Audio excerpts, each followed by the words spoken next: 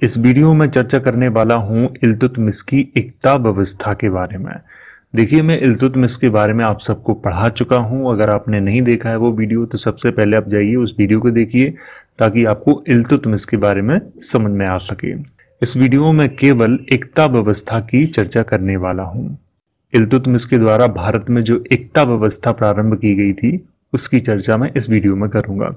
अगर आपको अपने नोट्स बनाने हैं तो डिस्क्रिप्शन बॉक्स और कमेंट बॉक्स में वेबसाइट की लिंक दी गई है तो वहाँ से जाके आप अपने नोट्स तैयार कर सकते हो। तो चलिए इस वीडियो की शुरुआत करते हैं और पढ़ते हैं एकता व्यवस्था के बारे में। ये है सूचना तो इसे आप ज़रूर पढ़ें। सबसे पहले बात करते हैं ऐतिहासिक तथ्यों की। एकता व्यवस्था का जो इतिहास है, वो कहाँ पे मिलता है? सुल्तान इल्तुतमिश के द्वारा भारत में शुरू की गई एकता व्यवस्था की संपूर्ण जानकारी सियासत नामक ग्रंथ में मिलती है। सियासत नामक ग्रंथ की रचना फारसी भाषा में Nizamul Mulk Abu Harun bin Ali Tusi के द्वारा की गई थी। सियासत नामक ग्रंथ में इल्तुतमिश के द्वारा भारत में शुरू की गई एकता व्यवस्था की संपूर्ण जानकारी मिलती है और इस ग्रंथ के अलावा किसी अन्य ग्रंथ में एकता व्यवस्था की जानकारी नहीं मिलती है। देखो, यहाँ पे क्या कहा गया है वो मैं आपको समझा देता हूँ। इल्तुतमिश के द्वारा भारत में एकता व्यवस्था की शुरुआत की गई थी और इसकी जो जानकारी है वो केवल एक ही ग्रंथ में मिलती है और उसका नाम है सियासतनामा। और सियासतनामा की रचना फारसी भाषा में Nizamul Mulk Abu Harun bin Ali Tusi के द्वारा की गई थी। हालाँकि जब मैं आपको इल्तुतमिश के बारे में पढ़ा रहा था, तब मैंने इनका शॉर्ट में नाम लिखा हुआ था, निजामुल मुल्क। इतना ही लिखा हुआ था। लेकिन इसमें मैंने पूरा नाम लिखा हुआ है। तो आपको याद रखना है कि एकता व्यवस्था की जो जानकारी है, वो किस ग्रंथ में मिलती है? सियासत नामक ग्रंथ में मिलती है और इसके अलावा किसी भी अन्य ग्रंथ में एकता व्यवस्था की जानकारी नहीं मिलती है। एकता व्यवस्था क्या थी? तो अब बात करते हैं एकता व्यवस्था पर एकता शब्द अरबी भाषा का है, जिसका संबंध भूमि से होता है। तो यहाँ पे आपको समझना है कि ये एकता जो शब्द है, वो किसका है? अरबी भाषा का शब्द है। और इसका संबंध किससे है? भूमि से। एकता भू राजस्व क्षेत्र होता था। इल्तुतमिश के शासन काल में मुल्तान से लेकर लखनौती तक के क्षेत्र को कई छोटे छोटे भागों में बांटा गया था, जिन्हें एकता के नाम से जाना जाता था। सबसे पहले मैं आपको दिखाता हूँ एक मैप। उससे मैं आपको समझाता हूँ। ये जो आप देख रहे हैं, ये है इंडिया का मैप। इल्तुतमिश का जो साम्राज्य फैला हुआ था तो वो इसी क्षेत्र में फैला हुआ था। आप यहाँ से देख सकते हो, ये बंगाल तक ही फैला हुआ था। पाकिस्तान के बहुत सारे हिस्सों में फैला हुआ था। तो इसी क्षेत्र में कई छोटे छोटे भागों में इसको बांटा गया था। उन्हीं भागों को कहा जाता था एकता। आपको ये यहाँ पे ध्यान रखना है। जैसे कि अभी हमारे देश को प्रदेशों में बांटा गया है, प्रदेशों के बाद जिलों में बांटा गया है, इस तरह से बांटा गया है। तो ठीक उसी तरह से पहले प्रदेशों में तो नहीं बांटा गया था, लेकिन एकता में बांटा गया था। तो ये आपको यहाँ पर ध्यान रखना है। एकता को दो श्रेणियों में विभाजित किया गया था। यहाँ पर कहने का मतलब है कि एकता को दो भागों में बांटा गया था। प्रथम श्रेणी की एकता में प्रांतों को शामिल किया गया था। जिसका इकतादार प्रांतीय राज्यपाल के रूप में अपना कार्य करता था, जिसमें कानून व्यवस्था, लगान वसूली, सैनिक सेवा को शामिल किया गया था। देखो, यहाँ पे कहने का मतलब है कि एकता को दो भागों में बांटा गया था। पहला जो एकता होता था, जिसे बहुत बड़े क्षेत्र में उसको शामिल किया जाता था, और उसका जो इकतादार होता था वो राज्यपाल के रूप में अपना कार्य करता था और उसके जो कार्य थे, जिसमें कानून व्यवस्था की ज़िम्मेदारी भी उसी के पास थी, लगान वसूली करना भी उसी के हाथ में था और सैनिक सेवा भी उसी के हाथ में थी।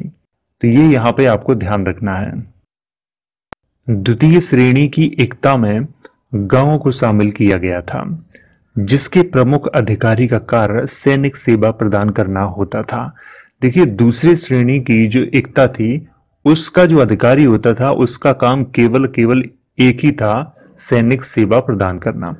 पहले के राजाओं के पास स्थायी सेना नहीं होती थी कि एकदम से जैसे आज भारत सरकार के पास है सेना, लेकिन पहले इस तरह की नहीं होती थी। पहले जो सेना होती थी कि गाँव के लोगों को बुला लिया जाता था, युद्ध के लिए, युद्ध खत्म होता था, वो वापस घर पर चले जाते थे। इस तरह की सेना होती थी। तो जो द्वितीय श्रेणी के एकता का जो अधिकारी होता था, उसका काम यही था कि गाँव से सैनिकों को इकट्ठा करना, राजा के पास भेजना, जब युद्ध खत्म हो गया तो वापस उन्हें घर भेजना। बस इतना ही उसका काम होता था। शमसुद्दीन इल्तुतमिश के द्वारा शुरू की गई एकता व्यवस्था से सामंतवादी प्रथा का अंत हो गया था। तो यहाँ पे आपको समझना है कि इल्तुतमिश के द्वारा शुरू की गई थी एकता व्यवस्था। उससे सामंतवादी प्रथा जो थी, उसका अंत हो गया था। तो ये सामंतवादी प्रथा क्या थी? हालाँकि मैं आपको बताना चाहूँगा कि ये हर एक पीरियड में इसका अलग अलग मतलब था। अंग्रेज़ों के शासन काल में इसका अलग मतलब था और इल्तुतमिश के शासन काल में इसका अलग मतलब था। उससे पहले और चले जाओ तो उसमें उसका मतलब अलग था। सामंत किसको कहा जाता था? सामंत राजा के जो प्रतिनिधि होते थे, उनको सामंत कहा जाता था। वो बड़ा ही कड़ाई से जनता से कर वसूलते थे। जो जनता कर नहीं देती थी कभी कभी तो उसके हाथ भी काट लिए जाते थे। लेकिन अंग्रेज़ों के शासन काल में हाथ तो नहीं काटे गए हैं, लेकिन उससे पहले इस तरह की व्यवस्थाएँ चलती थी। तो सामंतवाद की अगर बात करें तो सामंतवाद एक ऐसा सिस्टम है, जिसमें क्रूरता के साथ कर लिया जाता था। इल्तुतमिश के शासनकाल की मैं बात कर रहा हूँ, क्योंकि सामंतवाद की कोई निश्चित परिभाषा नहीं है। लोग समय के अनुसार इसकी परिभाषा को बदलते रहते हैं। अगर आधुनिक काल की बात करें कि आज के समय की तो अगर कोई व्यक्ति किसी दूसरे को कहता है, तुम तो बहुत बड़े सामंतवादी हो तो यहाँ पे उसका कहने का मतलब ये है कि तुम अपनी इच्छाओं को ज़बरदस्ती मेरे ऊपर थोप रहे हो। आज की अगर सिचुएशन की बात करें तो क्योंकि आजकल तो राजाशाही का जमाना है नहीं तो इसलिए आज की करंट सिचुएशन के हिसाब से अगर कोई एक दूसरे से लड़ाई में कहते नहीं हो, तुम तो बहुत सामंती किस्म के आदमी हो तो इसका मतलब है कि कोई व्यक्ति ज़बरदस्ती अपनी इच्छाओं को तुम्हारे ऊपर थोप रहा है। उसको सामंती कहा जाता है। तो ये सामंतवाद, ये हर एक काल में इसका अलग अलग अर्थ होता था। प्राचीन काल में इसका अलग होता था, मध्यकालीन में इसका अलग होता था, आधुनिक में इसका अलग है और अंग्रेज़ों के शासन काल में इसका अलग मतलब होता था। भारत में एकता व्यवस्था की शुरुआत करने का श्रेय सुल्तान इल्तुतमिश को ही प्रदान किया जाता है। ये प्रश्न बहुत बार एग्ज़ाम में पूछा गया है। एकता व्यवस्था की शुरुआत किसने की थी? इल्तुतमिश ने की थी। ये आपको यहाँ पे ध्यान रखना है। शमसुद्दीन इल्तुतमिश के शासन काल में बदायूं एकता का नाम सबसे ऊपर था। यहाँ पे कहने का मतलब है कि इल्तुतमिश का जितना भी साम्राज्य था, उसमें कई एकता थे, लेकिन सभी एकताओं में बदायूं एकता का नाम सबसे ऊपर था। ये यहाँ पर ध्यान रखना है आपको, क्योंकि इल्तुतमिश दिल्ली सल्तनत का शासक बनने से पहले बदायूं का ही इकतादार या सूबेदार था। ये आपको यहाँ पे इसको विशेष तौर पे याद रखना है। शमसुद्दीन इल्तुतमिश का शासनकाल 1211 से 1236 ईस्वी के मध्य में था। हालाँकि इसकी चर्चा मैंने अपने पिछले वीडियो में भी की थी। तो आपको यहाँ पे क्या याद रखना है? आपको यहाँ पे जितना ये मैंने हाईलाइट किया हुआ है, ये याद रखना है। और अगर आपको अपने नोट्स बनाने हैं तो डिस्क्रिप्शन बॉक्स और कमेंट बॉक्स में आपको वेबसाइट की लिंक मिल जाएगी तो वहाँ से जाके आप अपने नोट्स तैयार कर सकते हो।